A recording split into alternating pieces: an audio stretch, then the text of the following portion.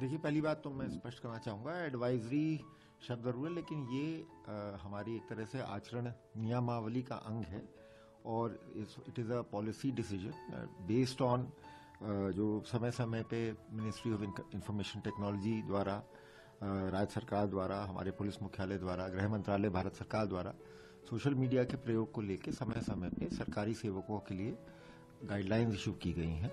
और हम लोगों ने पाया था कि कुछ समय से हमारे कई कर्मचारी, या तो जानकारी के अभाव में, या फिर जानबूझ के डिसिप्लिन शो करते हुए इस प्रकार के मतलब जो गाइडलाइंस पहले से थी उनका उल्लंघन कर रहे थे। और सोशल मीडिया पर पुलिस की वर्दी पहन के, या तो अपनी निजी क्रियाकलापों का प्रचार प्रसार कर रहे थे,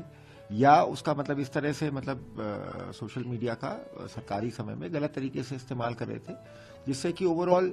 विभाग में भी अनुशासन प्रभावित हो रहा था और पब्लिक में भी उसका एक गलत मैसेज जा रहा था कि हम पुलिस के अधिकारी या कर्मचारी वर्दी का एक तरह से रोब दिखाते हुए सोशल मीडिया पे अपनी आ, मतलब इमेज बनाने की कोशिश कर रहे हैं। तो इसी क्रम में हमने जितनी भी पुरानी गाइडलाइंस थी इनको कंसोलिडेट करते हुए एक नई सोशल मीडिया पॉलिसी हमने इशू की है। और इसमें सारे हमने, इसको इशू करने से पहले हमने, जैसा मैंने बताया, जो भारत सरकार की और राज्य सरकार की इस बारे में गाइडलाइंस थी उनको भी देखा, हमारे अपने सीनियर ऑफिसर्स के साथ भी हमने विचार विमर्श किया, और उसके बाद हमने ये एक updated comprehensive social media policy इसका, जिसका कि नाम Uttarakhand police social media policy 2024 है, इसको हमने इशू कर दिया है। This is not at just in life जैसा मैंने कहा, ये सिर्फ़ एक परामर्श नहीं है। ये एक पॉलिसी है और ये आ, मतलब हमारी आचरण नियमावली के तहत इस हमने इसको जारी किया है।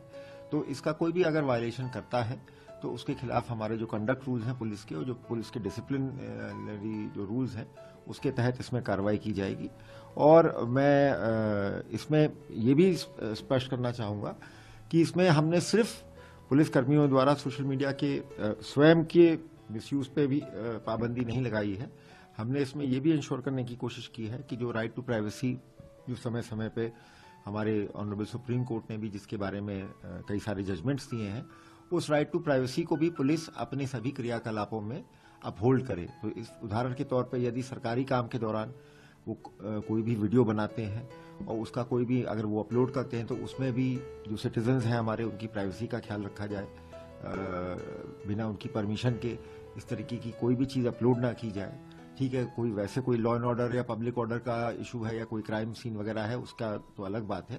बट अदरवाइज़ रूटीन के उसमें पुलिस ये भी इंश्योर करे कि सोशल मीडिया पे वो ना सिर्फ़ अपना डिसिप्लिन और डेकोरम मेंटेन करें, बल्कि प्राइवेट सिटीजन की भी जो उनकी जो राइट टू प्राइवेसी है, वो भी मेंटेन अब उत्तराखंड की खबरें आपको मिलेंगी व्हाट्सएप पर भी। डिस्क्रिप्शन बॉक्स में दिए लिंक से अभी ज्वाइन करें और अपने उत्तराखंड वाले ग्रुप पर पाएँ उत्तराखंड की हर खबर।